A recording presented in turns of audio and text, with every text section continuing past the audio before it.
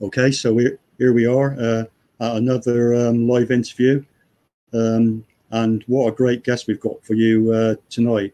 It's the the guy that's uh, won a double double, which is uh, an IMBA and AMCA uh, title on two consecutive years, 2009 2010. He won both titles. Um, adding to that, he also won uh, two AMCA MX1 titles and a superclass title. Um, and so uh, let's introduce the guy who's achieved all that. Um, it's Mr. Lee Dunham. Hi, Mike. Thanks so much for uh, inviting me on your show. And hello to everyone back at home watching. Okay, it's, it's great, great to have you on tonight, Lee. Um, right, um, so we've got to start really with that those double double winning years. Um, obviously, when you sit down now um, and see your name in the history books, um, which nobody can deny you, it must give you um, a lot of satisfaction um, when you know the endless hours of training, practicing, you know, going to the meetings, travel, traveling thousands of miles, um, to, to see your name in there and think that for the effort you put in, you got that reward. That that that must still feel good, yeah it, to be totally honest, that was part of my whole goal with uh, with the racing. Um, when I was a schoolboy and when I was kind of going into the adult scenes, I wanted to give. Um, oh, sorry, I wanted to have something on a piece of paper to show my kids what I'd used to do when I was younger. And um, of course, that started off in 2004 or 2005 with the KWS Championship. And as soon as I won that, it became apparent every single year that there was a previous riders or previous winners uh, in the back of their program. And that was it's a similar thing. It was so good to open a program and see your name in amongst all of those other guys uh, and girls that previously won it. And it just made you feel uh, like all of that effort, all of that hard work was worthwhile. And the double double um, is just the ultimate goal. It's, it's what everyone kind of dreams of, if you like, and it was so um, uh, rewarding after countless hours of training and countless hours of, of driving and, and traveling and and like you said, all the miles. And of course, you know as well as I do because we used to travel together. There was, a, you know, some serious road trips along the way. Um, to go with all of that effort, and it was it was rewarding, not just on my side, but as you know, as a collective, as a family and a team effort to to win those two championships.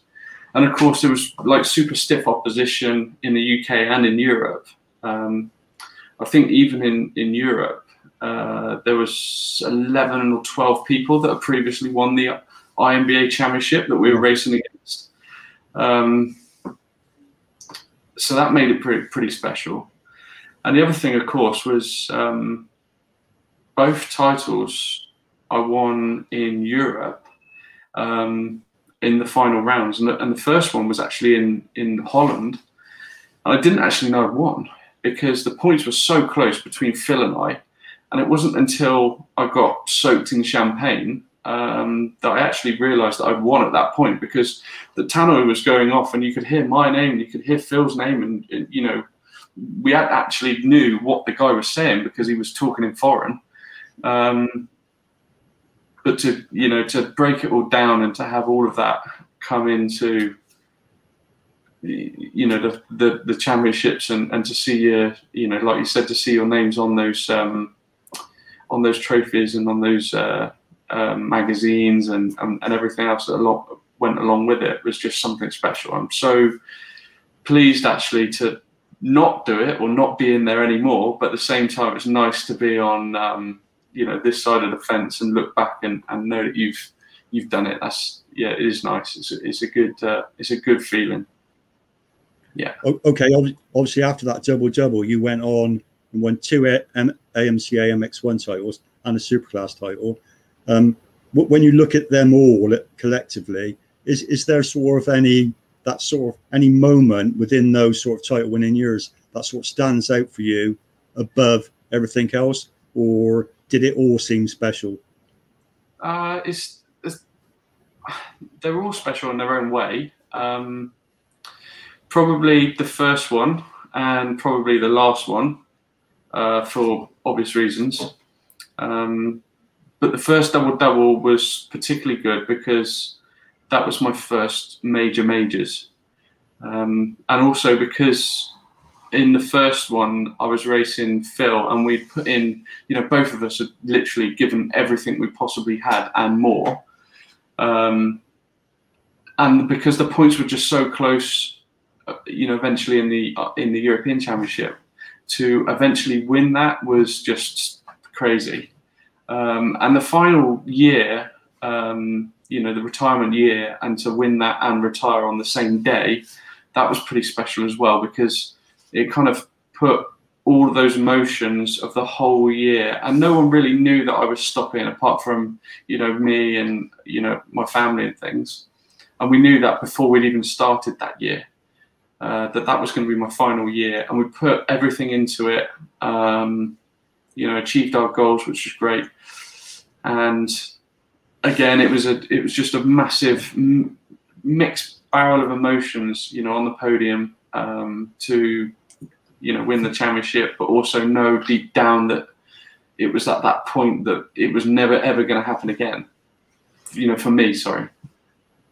So uh, yeah, massive, massive mix, mix emotions from the from the first to the last. But but if I was to highlight two, it would it would probably be the first one uh, and the last one. Okay, okay. Um, on on that year when you you did decide to call it a day, um, had you always thought in your own mind that that was it, or you know, had, had you sort of planned it?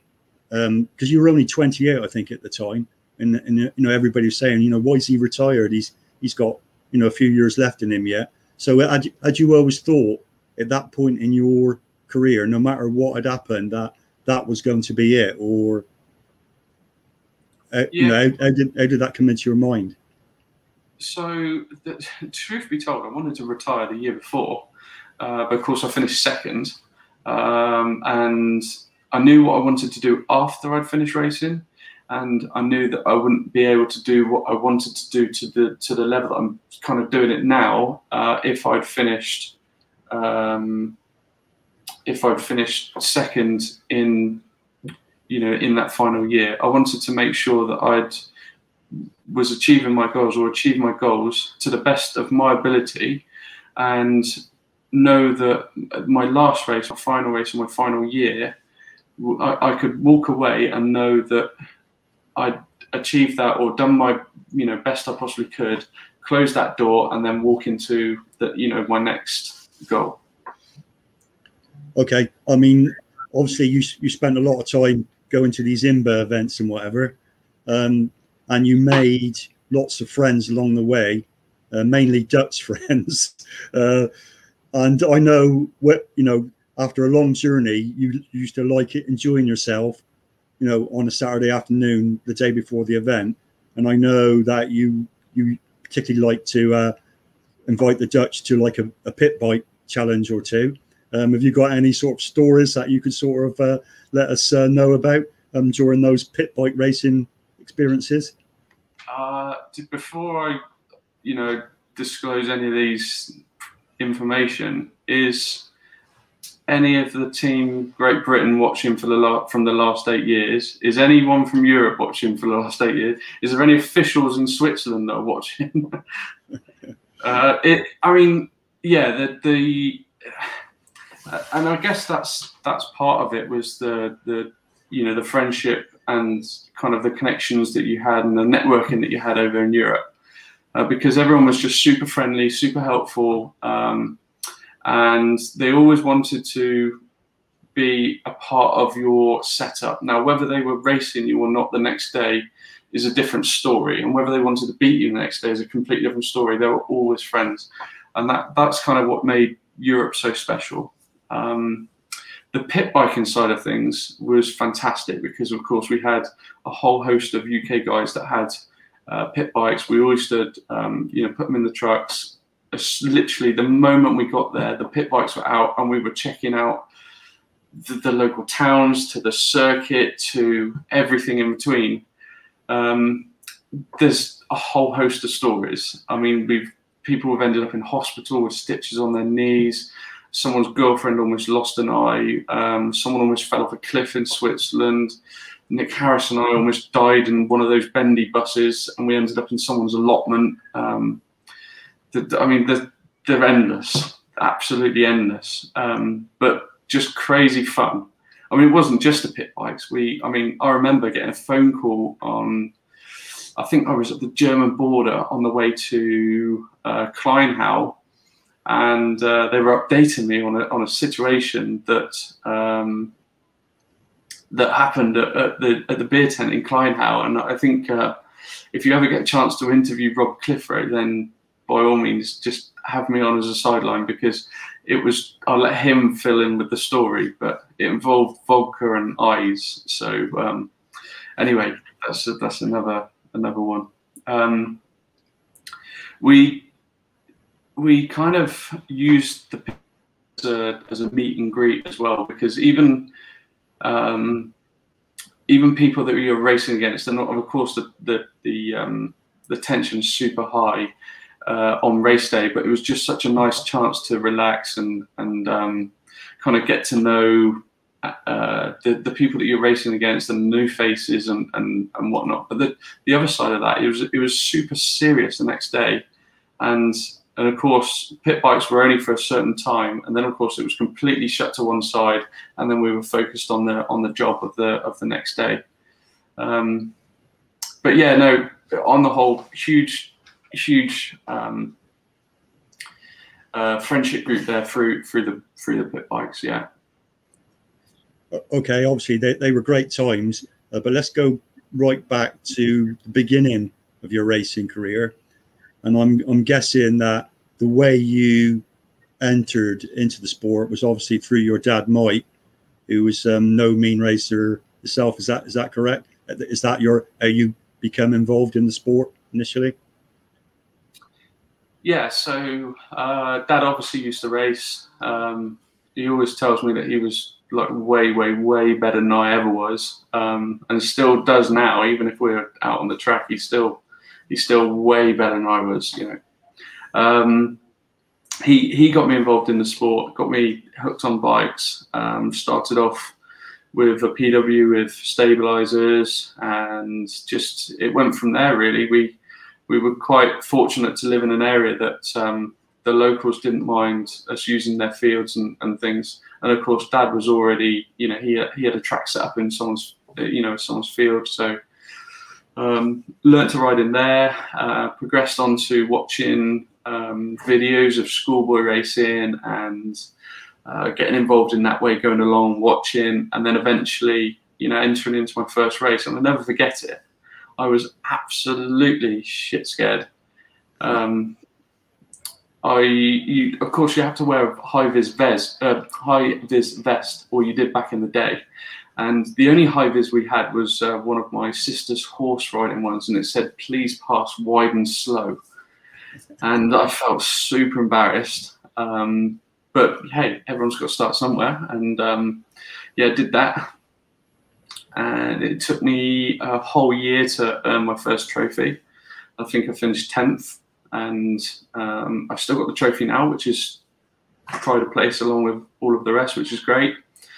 Uh, progressed up through the ranks. Um, eventually, my kind of my goal was to end up riding for Team Green, and that happened. I think when I was about 14, which was a massive achievement for me. That was I, you know, I felt amazing. You know, once I got selected and you know, I was joined into part of that kind of um, support from a manufacturer. And it then led on to the next step. Um, and of course, the next step went from youth racing um, through into, into the adult, adult scene. And at the time, um, Team Green Riders either went into racing uh, for professional teams such as MJ Church or you know LPE or uh, you know something like that. At the time, it was MJ Church. Um, or there was the option of riding for dealerships. And from that dealership, um, package, that's where I ended up racing for Motor Extreme Kawasaki. And then, of course, from there, it then led off into into the AMCA and the IMBA scene, which was you know it's fantastic. It was it perfectly fitted into my kind of uh, routine and, and situation at the time because you know work obviously was was the important side and you know racing was the fun and you had to train before work and after work and you know sometimes it was even during work as well you were doing everything you possibly could just to kind of gain that little step into your uh, program um, but yeah no it's it's um, looking back actually probably probably haven't really looked back quite as far as when when I first started. Um, looking back, you know, the stories and the and the kind of things that we've done over those 25 years has been, you know, it's been a lot, a lot of bikes.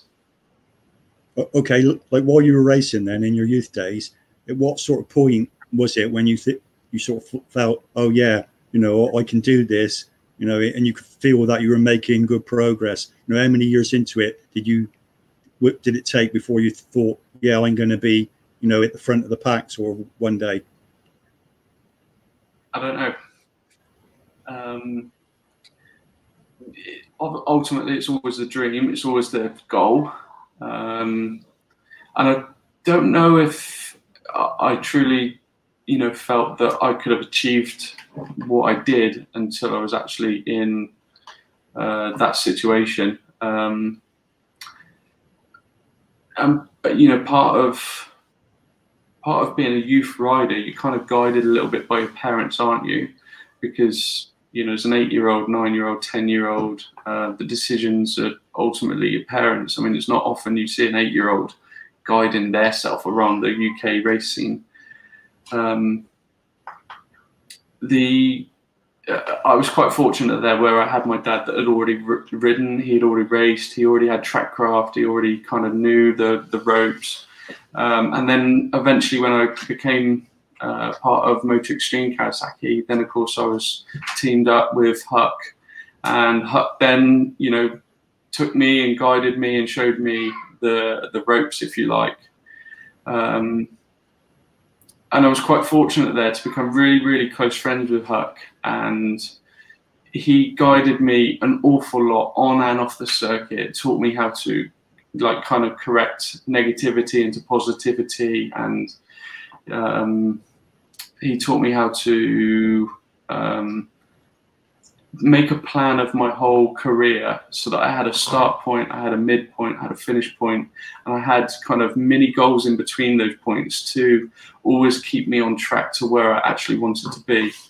Um, but going back to your question of when did I actually realize that I could, you know, achieve goals or win or, or you know, um, be at the front, I don't actually think that I realized that until I wanted to do it myself.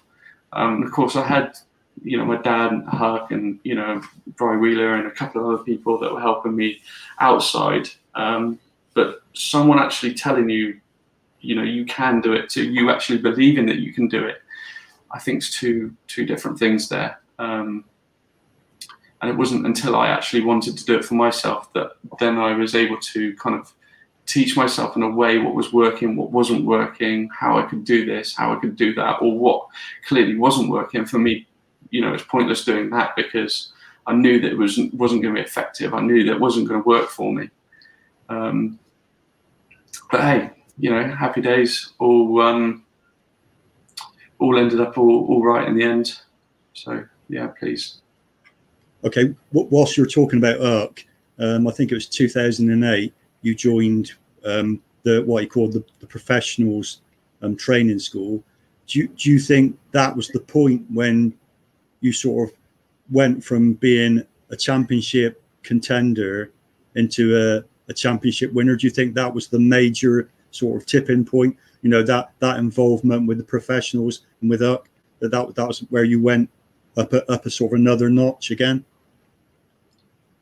It was a point where I changed my uh, my um, my mental attitude towards the racing hundred percent definitely, um, and also it was it was a time that you know I was guided differently. Um, the, the, the idea with the uh, the professionals uh, training uh, was absolutely you know perfect, and it was exactly what I needed at the time. Um, you know, I had a huck, if you like, that was guiding me on my physical side. Um, and I had Bry Wheeler on track side. Uh, you know, whenever we were, you know, I was helping on one of their days or, or even participating in one of their days.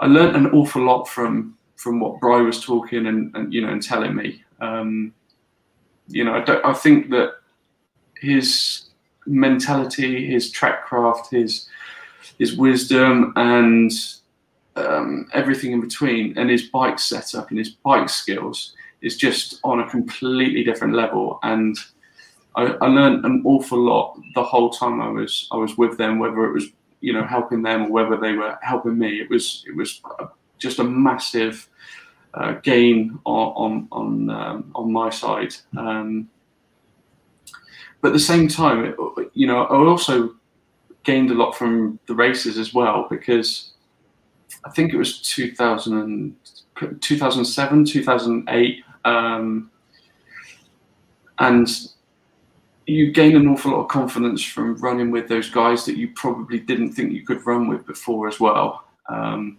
and that instantly gives you the confidence boost to, uh, you know, believe that you should be there. Um, and as soon as you've got that, that you've got that self belief that you can actually get into that position, or be in that position, or uh, you know, achieve goals, podiums, wins, you know, seconds, whatever it may be um, as, as, soon as you've got that self belief, that's motivation. You're almost disappointed when you're not, it, or or you haven't achieved those those, you know, top five, three, two, one, whatever it may be.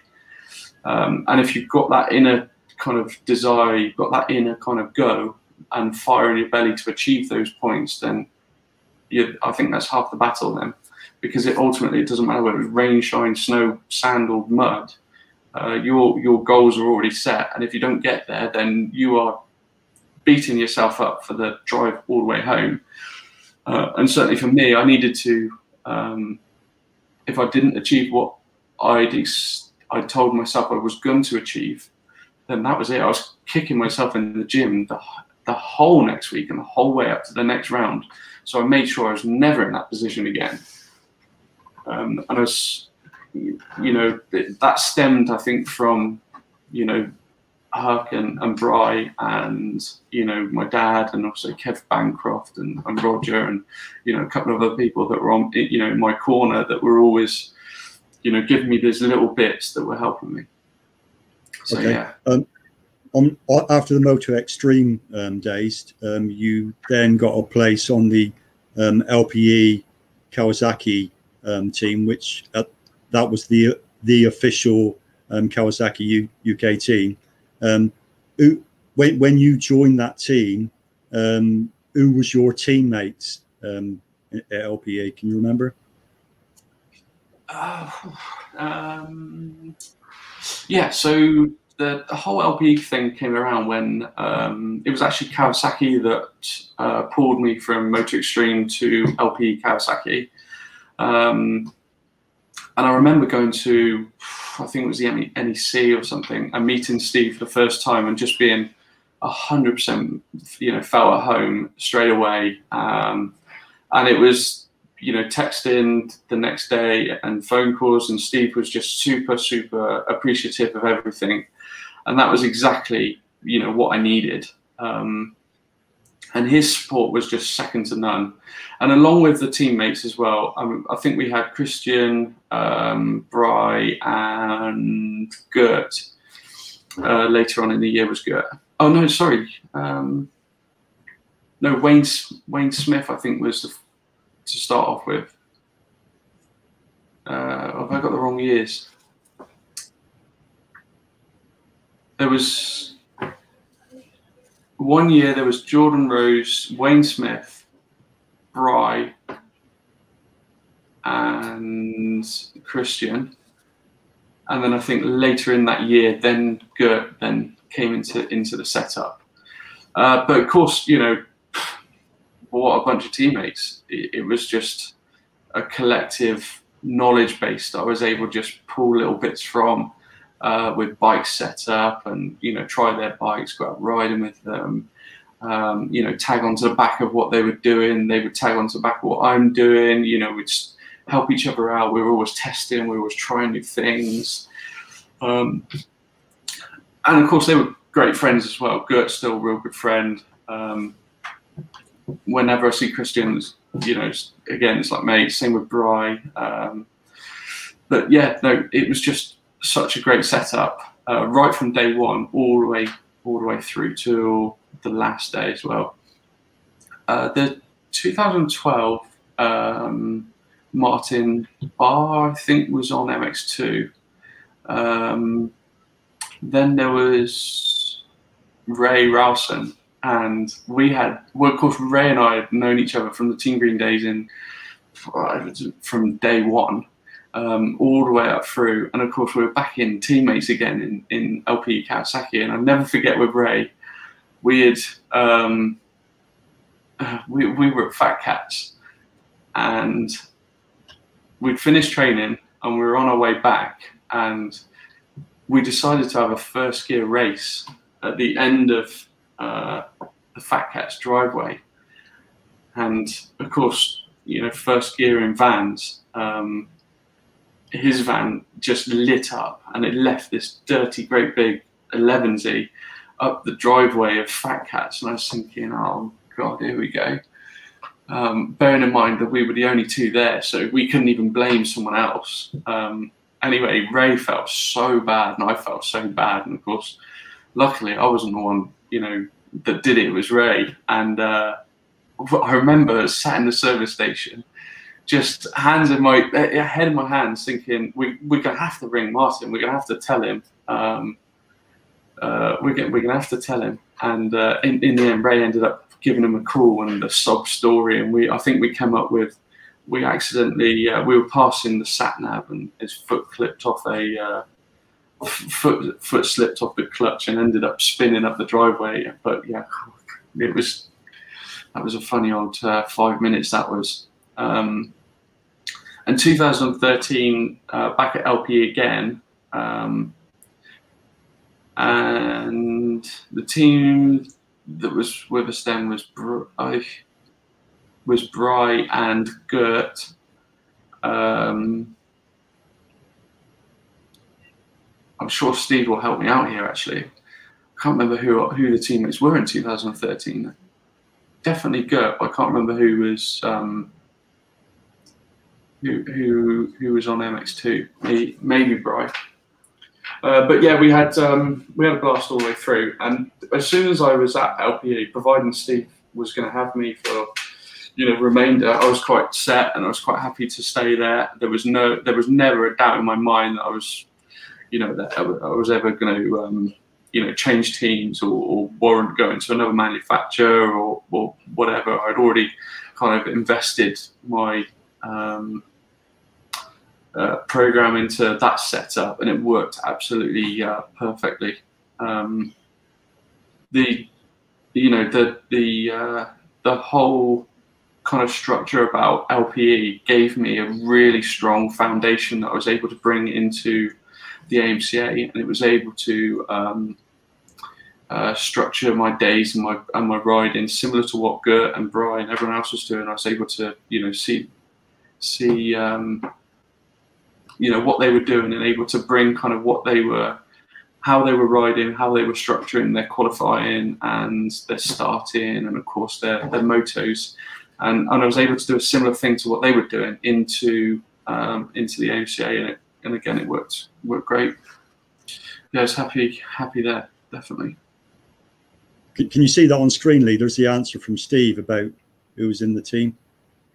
Uh, yeah, yeah, of course, Ando and uh, Doran, yeah. yeah yeah, I remember having a game of squash with Ando, and um, we were we were in a real small village up near where Steve lives, and um, having a game of squash, and I was beating Ando, and as you can imagine, he was just getting fired right up.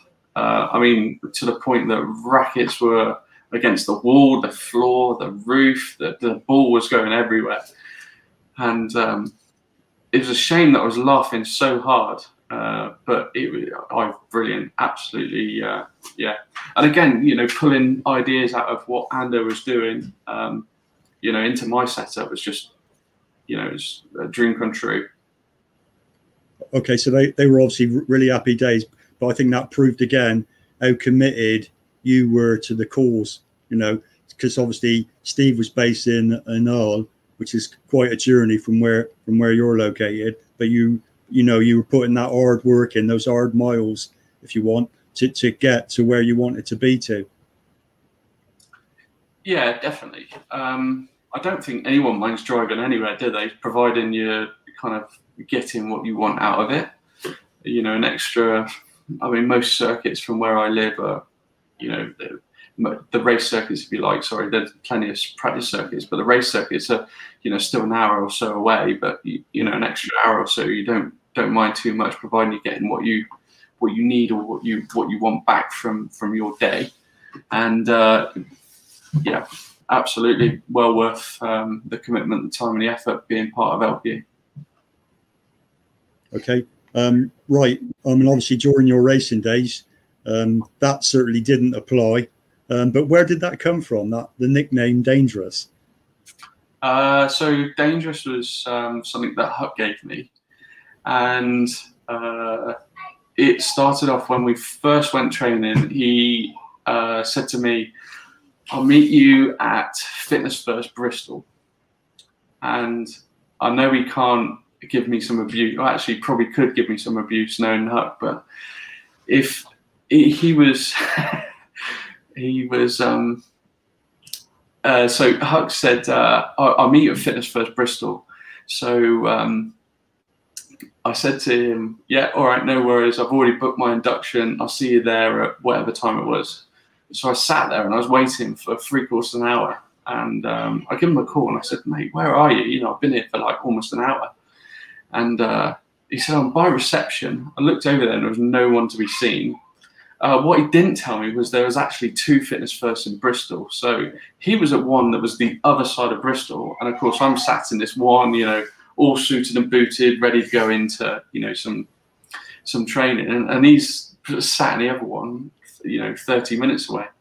So I literally ran out of the gym, jumped into my car, flat out over to you know his side of Bristol, jumped into fitness first, and he said, "You are dangerous." And as soon as he said that, that was it. It was just stuck then. Uh, so um, hopefully, no one thinks I'm dangerous for riding or anything like that, or you know, thinks that the, the dangerous side of things is is in relation to racing at all. But no, it was for him, and uh, yeah, it seemed like um, it stuck. Okay, and throughout your racing career, you were always racing on Kawasaki machinery. I think that's correct. Um, yeah. you, you, know, at any point at all, did you sort of think, oh, I wouldn't mind having a go on that KTM or or that Honda just to see how it compares to what you were on, or or did that never sort of really come into your mind? Um, I had a couple of offers from different manufacturers, um, and you know that happened pretty much right up until my LPE days. Um, but I think that I, I, I, did I had so much kind of spare package, if you like.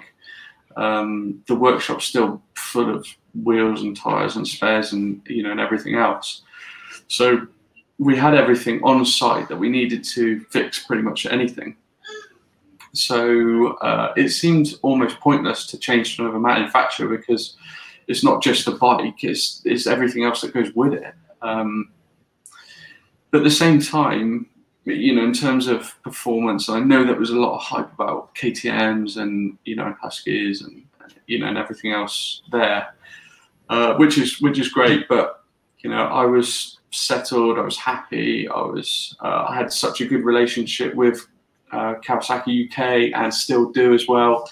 Um, so there was never really a point that came to me um, umming and ahhing or flipping a coin as to you know where I was going to end up.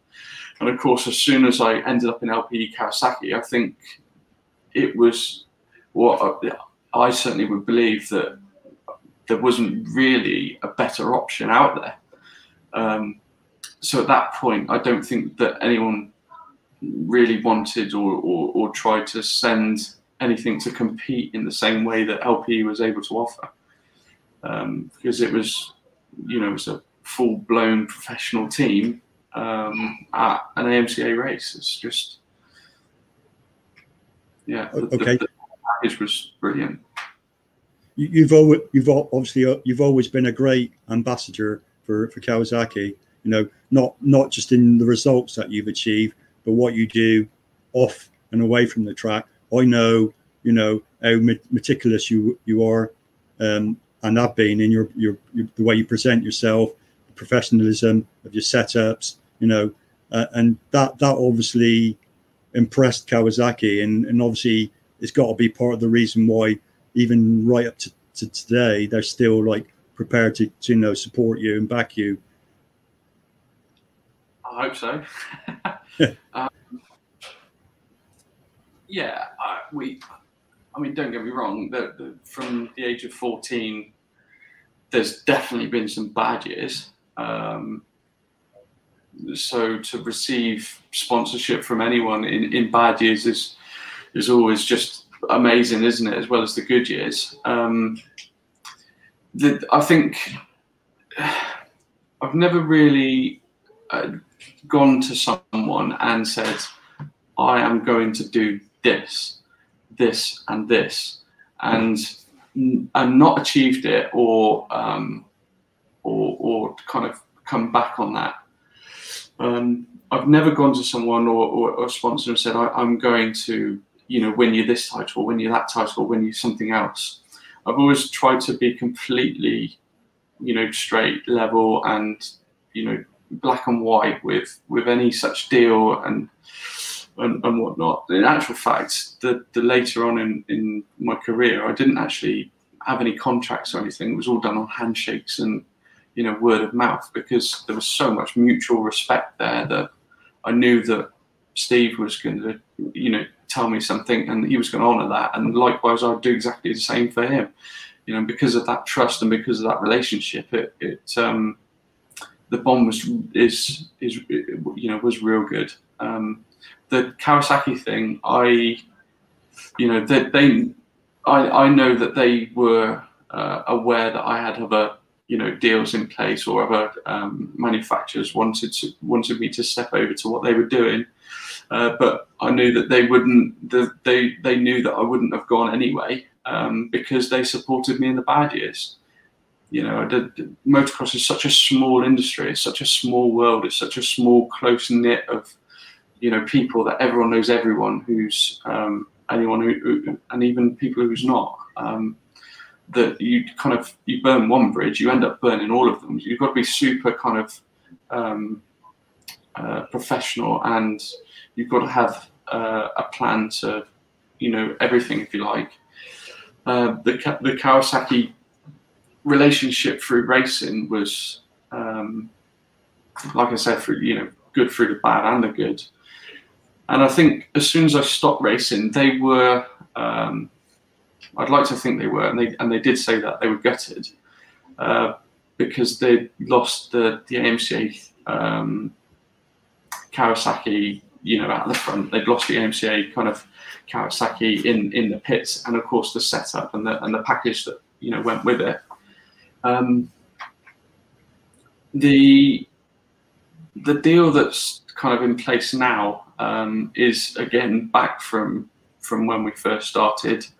Um, and of course, they help it. Uh, they they support the LDR training facility uh, in a huge way, and it's um, again that you know there's no way that I would you know leave what they were doing, um, and I'm sure the feelings mutual there. That I'm sure that they wouldn't uh, jeopardize not being part of the setup because the connection's been there for what we now 35 years old and, and probably since we are about 14 and before then you know my dad had supported uh, riders through the backing of Kawasaki previously so you know the connection's been so long and so kind of thorough that um, it almost seems right to stick with them and honour what they were doing, um, and then to you know do exactly the same for for us as what we were doing for them. It's yeah. Okay, uh, one last question uh, before we move on to the training uh, side.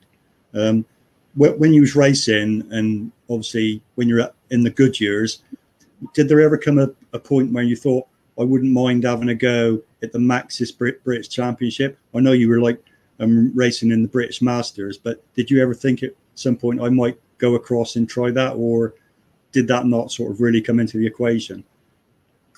No, it didn't really come into the equation. Um, I mean, don't forget, I was working, you know, five days a week, then racing on the weekends, training before work, training after work. Um, you know, I was in a, a team where there were full-blown professional athletes who were able to ride seven days if they wanted to. Um, and for me, it wasn't able. I, I, just wasn't able to commit to a seven-day-a-week program uh, without any income at all. It, uh, you know, Mean, I say without any income at all, without you know my works income, if you like. Um, I wasn't able to commit or structure my uh, weeks around that. It, it just wasn't possible. And if I was going to do something like the British, uh, like the Maxxis or, or, you know, a similar championship, then I'd need to make sure that I was absolutely 100% committed to it. Uh, the odd one-off round and things, you know, it seemed completely pointless to me to go to an event like that um, or, or another event that wasn't on my calendar and potentially risk a broken finger or you know a, a damaged engine or a damaged fault leg or, or, or anything uh, when you know I had more important things in my eyes to you know seal those championships that I did. Um, so I think if I was to go back and, and maybe look back on what I'd done in my career, uh, then I would probably uh, have changed my schoolboy career to uh, get getting involved at an earlier age, maybe with a coach or a um, or, or some kind of um, mindset trainer to direct me in a different way. In which case, I would have believed that I was able to do it earlier, uh, and therefore, when I was younger, then then I could have you know maybe gone on to that level and you know possibly higher if I'd have done something younger. You know to try and do that at 25 28 years old just you know I'm working five days a week. It just wasn't realistic to achieve those goals. Just you know so no I didn't no. Okay um right so once you um finished your racing career um you went on to become a qualified motocross coach. I guess that was always in the plan um, that you would go into motocross coaching. Is that correct? Or so I wanted to stay within the industry. Um, in actual fact, I had a, a, sponsor offer me a job um, with neck braces, um, which was fantastic. You know, it was you know a dream job if you like. Um, but as soon as I'd as, as, soon as I'd finished my racing career, there was um, quite a lot of people that were, off, you know, wanting me to help them or offer some guidance, some setup advice, some kind of um, fitness advice. So, um, I, you know, it started off real small, and I didn't advertise, didn't kind of um, want to promote it too much. Just keep it nice and small, and you know, nothing too serious, if you like. Uh, but within probably six months, um, I had the option of you know being part of uh, or, or, taking over a facility, which is obviously what we've got today. Um, and then 12 months after that, it was just seven days a week, um, you know, training and coaching and offering people experiences on on bikes. Um, and it, it with kind of that door that was opened um, at the facility, it gave me the option to give people an experience that they, they'd never ever um, had before. And what I mean by that is I wasn't trying to convince the people that already had bikes that they should buy more bikes.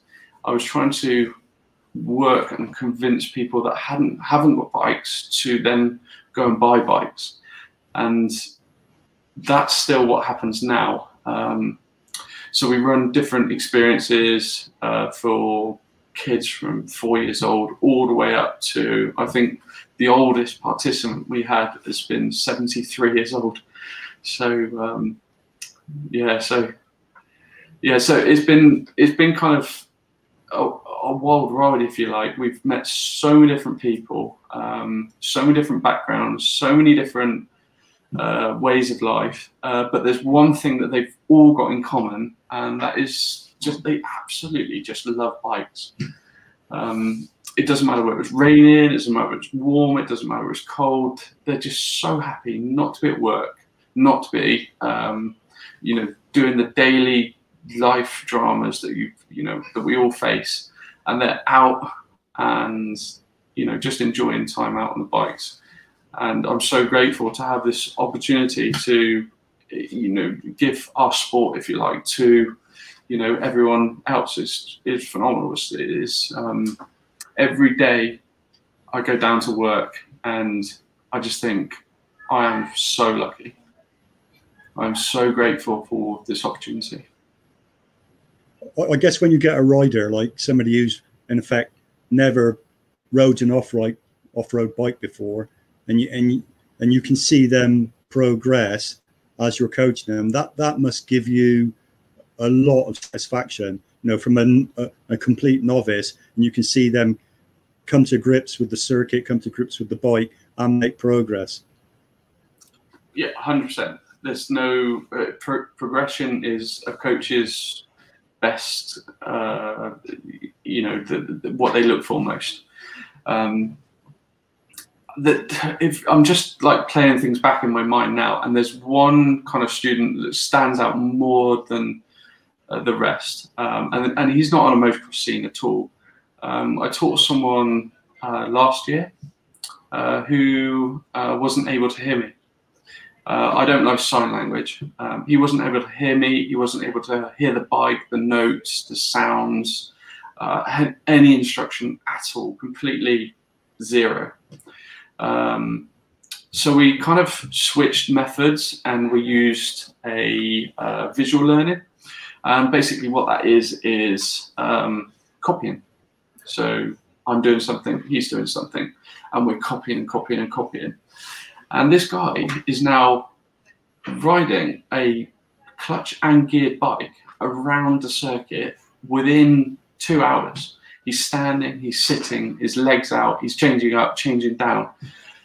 And it's not until you actually kind of sit back, see that, and realize what's what's happening that you think, whoa, you know, this is just something else. I mean, we've all done some cool stuff on bikes, but this is just a different level. And to see it, to be part of it, and to and know that that is just part of the journey, uh, to part of that guy's journey uh, into a whole other world now. You know, he's he, he's got restricted um, everything already, and to give him another door that he can express uh, his um, skills and life and everything else with it on bikes is just whoa, yeah, blows me away. Yeah, that, that that's incredible, Lee. Um, also, do you um, still do like the corporate um, coaching days, or is it just like um, you know individual one-on-ones? No, so the whole host of things. So uh, basically, whatever you can think of on bikes, we do.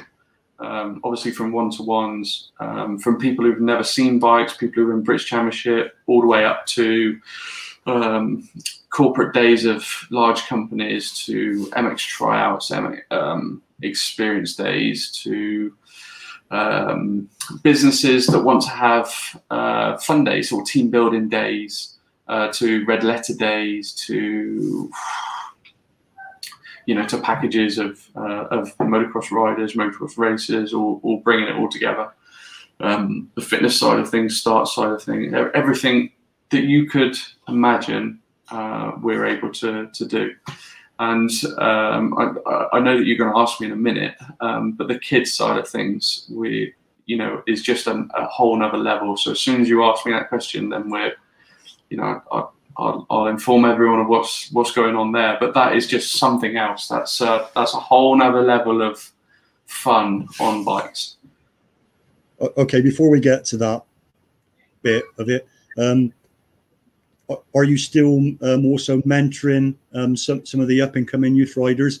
I know you were going going with them to like championship events and, and looking after them. Is, is that still happening or? Yeah, exactly. So um, I follow the British Youth Championship. Uh, in my eyes, it's the best youth championship there is. Um, along with, you know, there's uh, there's there's so many different championships out there, uh, but in my eyes, they predominantly um, they predominantly put on a championship specifically for youth riders. And I know that a lot of championships all do you know a great setup. Uh, the BSMA do a great setup. The you know the the um, MX Nationals do a great setup, and, and so does everyone else. Uh, but for me, the BYC for the youth riders solely, uh, they do a, a, a, championship that's directed for them, and of course on the back of them, then then there's access into um, the, the, you know the worlds and the EMXs and and everything else. So. Um, I run a program that youth riders follow, and um, and it works really really well. I'm super happy with um, with everyone that's been on the on the program, and also everyone that's on the program at the moment. Um, and I go to those races and just guide them and help them, and just kind of take all of the race day emotions away, and, and just give them with positive um, information to encourage and bring out the best in what they can do uh, I'm not really too worried um, whether you know I've got someone who's um, not going to be a British champion. I just want them to be the best they possibly can be uh, for themselves. And um, right now, at the moment, obviously, you know, we're not on bikes. We're doing a hell of a lot of fitness um, and structured programs through day to day, weekly um, events and challenges that I'm giving them and just to see them enjoy and hit their PBs and come back to me on a daily basis saying, Do you know what, Lee? I've absolutely smashed it today. Send over the data to me and just see them, uh, you know, beaming from ear to ear, you know, makes it all worthwhile. Yeah, that's great. Um, what's your current views on the youth racing scene in the UK? Do you think overall it's heading in the right direction, or is there sort of areas where you think it could be a little bit better? yeah, I, I, think that um, I think this is a can of worms. Um, if I, I, think that we can do better, definitely. Um, and what I mean by that is getting funding for progression within the youth ranks.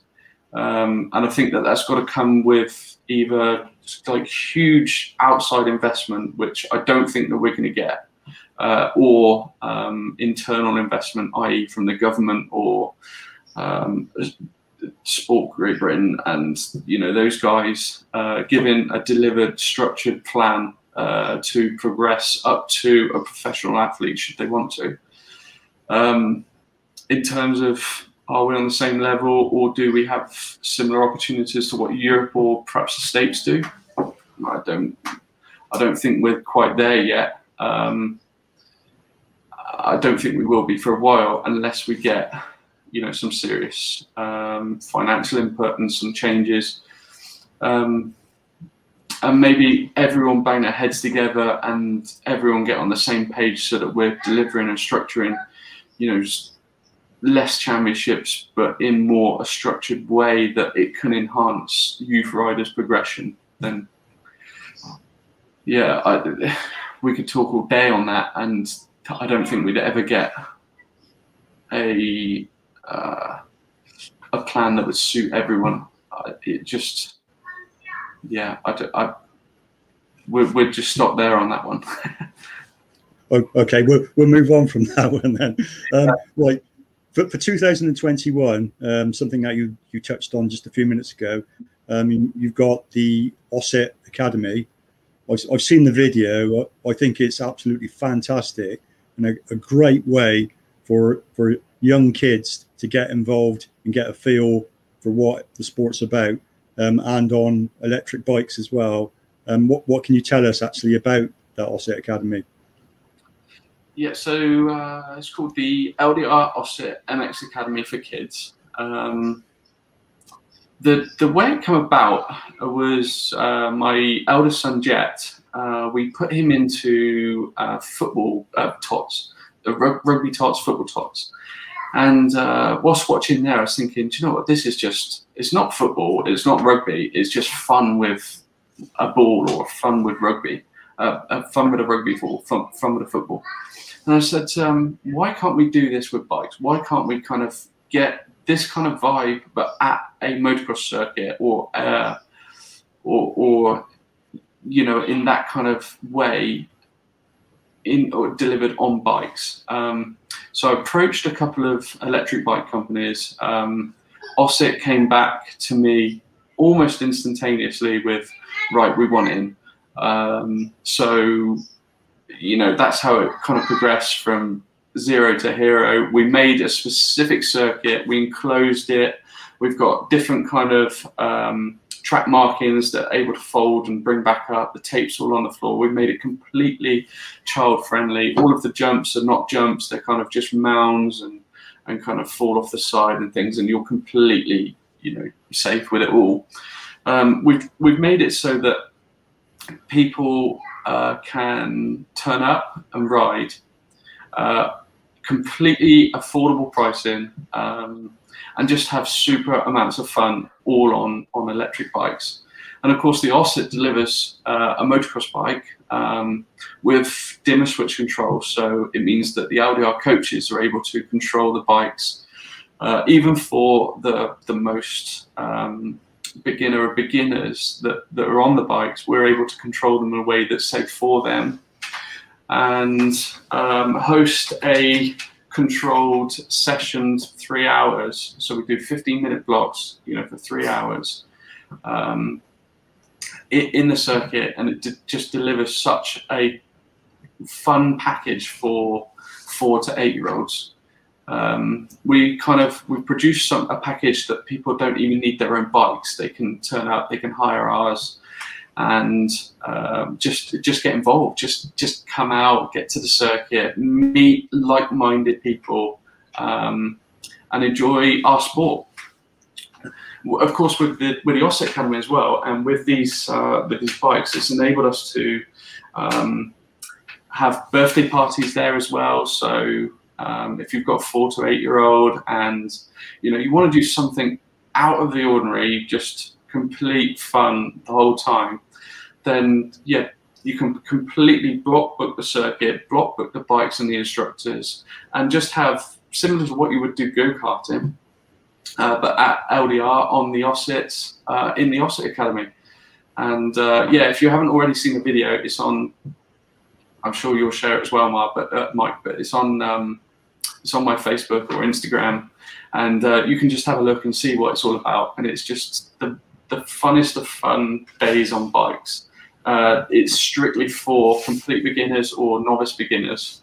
Uh, so anyone who's uh, you know slightly intimidated by other people, don't be. Um, anyone who's worried about noise, completely don't worry about that either, because of course they're electric. Um, it's to get anyone and everyone, and to give everyone and anyone the opportunity to come ride ride bikes at a completely affordable price. So I've got that, to say, I think I, I think that's, that's, for me. That's for you. Yeah, that's for me. Uh, hey, we're good, Mike, but we're not that good. right. Um, while we're talking about the younger riders, then um, also during your coaching um, time, um, I you've got managed to get motocross as part of a school curriculum. Um, can you sort of fill us in on how that happened? I think it's was it a low a local school in North Nibley? Is that correct? uh, kind of, yeah. So North Nibley um, is a local village to where where the circuit is.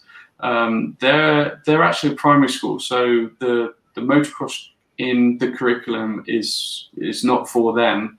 Uh, but what we do with North Nibley Primary School is um, similar to gr- cricket club or football club or ballet or anything like that, uh, which was an after school um, activity for that school. We, we do a similar thing. So um, North Nibley Primary School, they've done it for a few years. They pop down, you know, after school, and we take them for motocross club and that's again you know similar to the OSET academy um, just a different level of fun it's, it's amazing uh, but the motocross um, GCSE um, was something that Simon Newell of Chiltern Young Riders he um, initiated. He got up running, he got started, um, and basically I just tagged onto the back of what they were doing.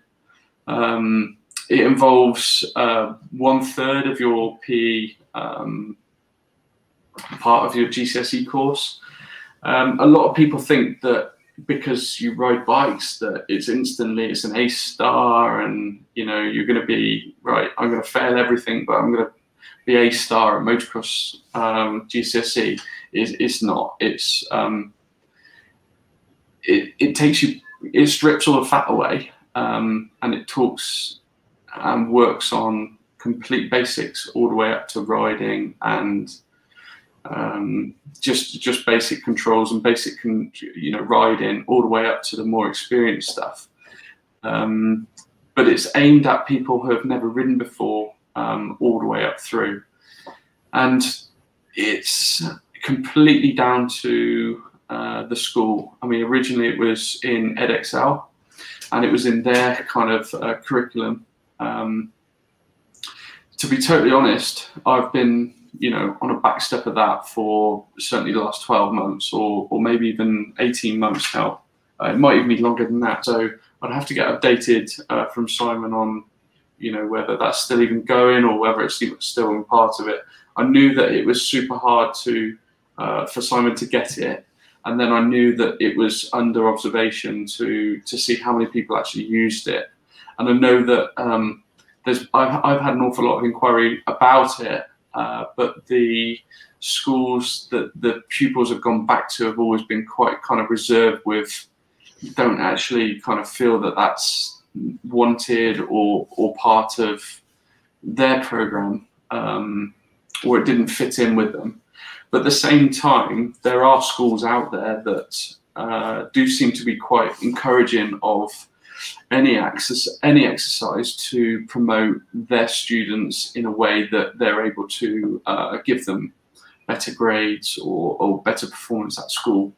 Um, so we so we do deal with a lot of customers who are either underachieving or next year we've got a, a block booking for the whole year for one student who's uh, I think he's two or three years advanced on his schooling. Um, so in which case he's in a position that he's able to, um, you know, step away from his structured schoolwork, um, just so that he can use motocross as a as a big confidence and kind of de-stress and chill out area. Um, it works in so many different ways. Bikes, you know, obviously you've got the motocross on the race side, but you've also got to look at it the other side. That is, you know, it's a massive luxury. Um, and we can use that luxury to uh, change negativity into positivity.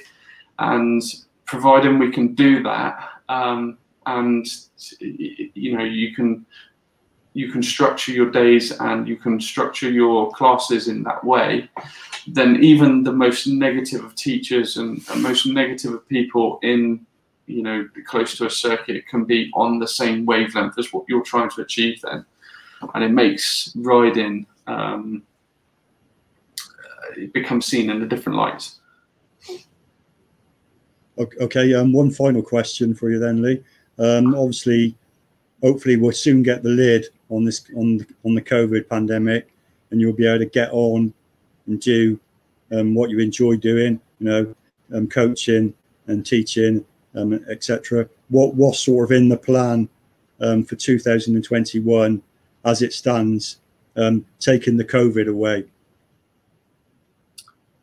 Uh, so last year, um, we were going to launch a, a summer race school. So we always do a winter race school, which is basically a, uh, a prep for the, the race season. Um, and then we were going to uh, go into a summer season. Um, and of course, we weren't able to achieve those, uh, you know, that. So, you know, our main goal is to uh, bring that summer race school into play. Uh, basically, it's just a rotation of circuits uh, each week, and uh, it doesn't affect schoolwork in any way. It's a program that's designed to uh, for you know youth riders so they can go to school, come away from school, go straight into motocross club if you like, and we can do some uh, intense um, training to uh, to, to work for their race uh, season. Um, the main idea with, behind that is or was um, just to compete with the, the you know the trainers and riders that are able to get time off of school to, to be able to ride. Um, I know you know a lot of the southern guys and girls you know we're, we're just not able to do that. Um, you know whether we should or shouldn't do that is a completely different question, but we're just not able to do that. Um, so I've tried to make this program fit around school because um, I believe that's super important. Uh, and it works towards their racing goals. So that's one side of it. Um, the LDR OSET Academy is a, is a, is another side, and uh, that wasn't really kind of offered to anyone last year. Um, so it's going to start up this year, um, you know, f- completely 100 mile an hour, and you know we're going to push that as much as we possibly can. Um, but we've also got a whole host of new LDR Kawasaki experiences, which uh, come from taste sessions, which people can um, again turn up in flip flops and shorts, and we provide everything uh, to get them on their on their motocross or, or off road bike, or even you know if you're if you're wanting to pass a CBT and you're too nervous to ride in a car park full of cars and cones and things, then come and see us where we've got a 20 acre facility that you can ride and ride and ride and there's you know there's nothing around you so all of these packages will all come together and they'll all be just enhanced a little bit we already do a lot of these but they're just enhanced and they're progressed and they're you know they're they're evolved with the times. Um, then bring in that 21 summer race school for the you know the hardcore racers, and then also the LDR OSET Academy as well. So the umbrella for LDR now is starting to grow into into different avenues and different routes, um, and different and the routes to market and the way that we're going to market them are, are just progressing as well. We've got a whole host of things just sat there um, we're just waiting for you know what the green lights, you know when the green light comes and, and what we have to deal with in those situations, and then uh, and then everything will start blossoming if you like. Everything will start growing and. Um, it's exciting. The the good thing with the bikes is you know you can you can put bikes and you can have bikes and you can mold your day and you can mold kind of uh, a structure into anything. You've just got to have that kind of ambition, that drive, that goal, that kind of um, that vision to see where you want it to go and what you can achieve. And don't get me wrong, it's definitely not easy. And you know, some days we've literally not slept. We've we've been working all night just to either sort bikes or sort the circuit out or sort the machines out um, just to make it happen. But we you know, we all uh, we all work together. We're really, really um, lucky to have, you know, a whole host of um, members of LDR that all play a huge part into trying to make it successful. Okay, and uh, finally, is, is, there any practice days um, planned? Um, again, COVID permitting for 2021. Definitely. Um, yeah, uh, it's it's a difficult one because um, you know my it, it, everyone's got their own ideas on COVID, and you know, and again, that's another kind of worms. Um, uh, but you know, in my eyes, wherever the end is, you know, whether it's in a week's time or whether it's in six or seven months' time, um, we've all just got to make sure we're at the finish line together. Uh, now, whether I end up doing practice days this year or next year or the year after, doesn't it doesn't really affect me too much. Um, just it would just be great to see everyone at those days at some point enjoying the circuit. Um, but for sure, it, you know, as soon as we can, as soon as we're able to, great, we'll do it. Okay, that's uh, just about it. Thanks, Lee, for doing this. It's, it's really much appreciated, and it's great to see you again. Although it's only on screen, but uh, I've enjoyed it immensely. Thank you. Pleasure. No worries, Mike. Thank you. And thanks everyone for watching.